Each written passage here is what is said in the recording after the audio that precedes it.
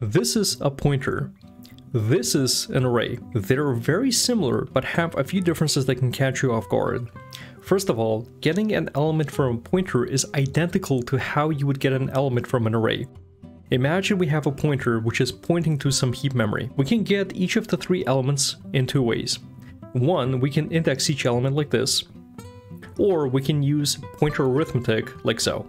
Be careful with this method, as you need to include the dereference operator, or else you will end up getting the addresses of your elements. Now, keep in mind, all of these work exactly the same way with arrays. For example, if we have an array A, getting the elements from this array would be identical to how we would with our pointer. First of all, we can index it. Second, we can use pointer arithmetic. Now, what's the difference between an array and a pointer?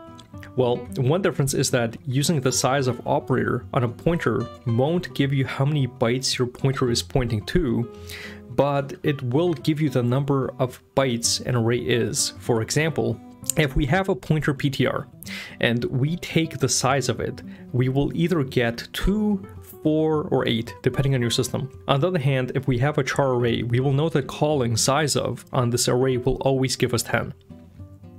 So keep that in mind, you don't know the length of what your pointer is pointing to, but with arrays you can always calculate your array's length since it retains that information.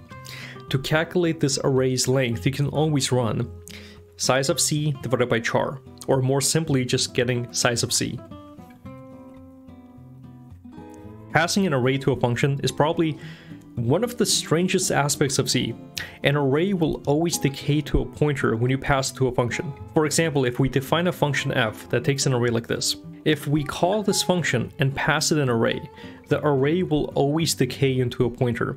For example, for example, we can use the size of operator inside a function and outside the function, and we will get different sizes. This is because the array we pass through a function decayed into a pointer. Another thing about arrays is that you can't reassign their memory location.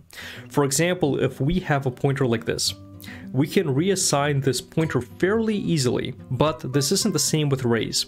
Since arrays are bound to memory locations, we can't change the address of an array.